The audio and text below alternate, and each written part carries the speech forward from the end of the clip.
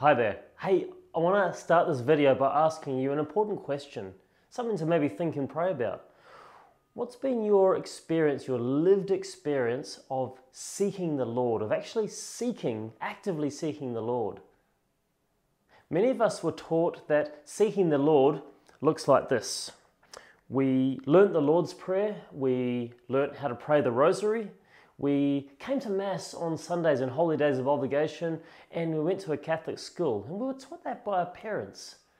But you know, that's a speaks more to a culture rather than actually going out and actively seeking a relationship with Jesus.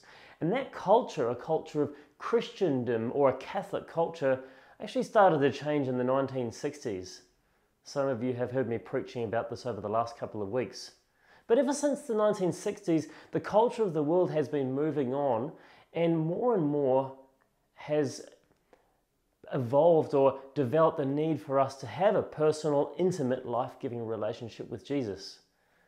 In our first reading for this weekend, the first reading is from Zephaniah, one of the 12 minor prophets, Zephaniah, or rather it's God through the pen of Zephaniah, encourages us to seek the Lord. Three times right at the start of the reading, we hear, Seek the Lord, seek humility, seek the Lord.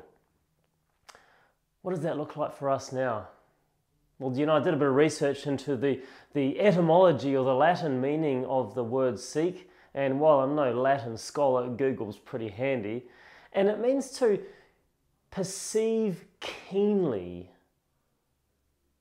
Each one of us has been given five senses sight, hear, smell, taste, touch, but we've also been given a sixth sense, our sense of faith.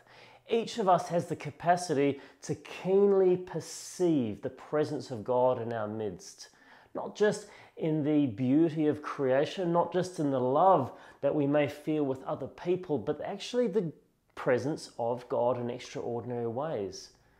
So, if I can encourage just one thing for your prayer this week, is to keenly perceive the Lord by actively seeking the God who desires to be known and loved by each one of us. God bless you.